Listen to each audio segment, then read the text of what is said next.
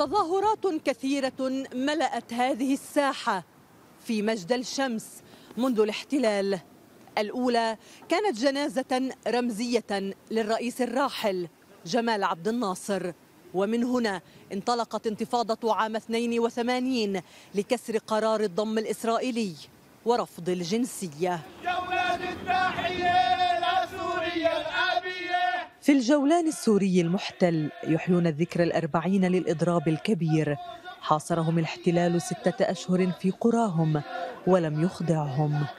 نحن شعب سوري وأرضنا سوريين وهوانا اللي منتنفسه سوري وانتمائنا لوطننا سوري. نحن ما نبدلش عنه بهوية إسرائيلية ولا بجنسية إسرائيلية. حتى اليوم؟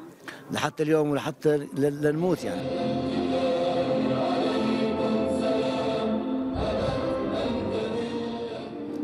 على وقع النشيد الوطني السوري. يلتقي السوريون على جانبي الشريط الفاصل ليقولوا نحن سوريون رغم كل مشاريع الاحتلال الإسرائيلي.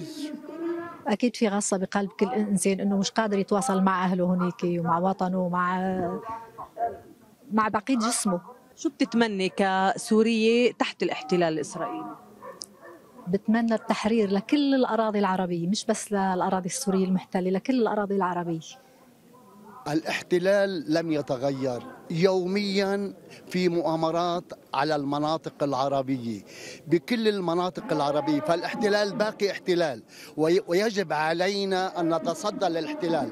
ولا نعلق آمالا أبدا على المنظمات الدولية لأن المنظمات الدولية تخدم الاحتلال. 54 عاما من الاحتلال الإسرائيلي. في إطار ما أسمته الهدف الاستراتيجي رصدت الحكومة الإسرائيلية مليار شيكل في جلسة لها عقدتها قبل نحو الشهر على أرض الجولان لمضاعفة أعداد المستوطنين خلال ثماني سنوات فضلا عن مشاريع استغلال الموارد الطبيعية وسلبها.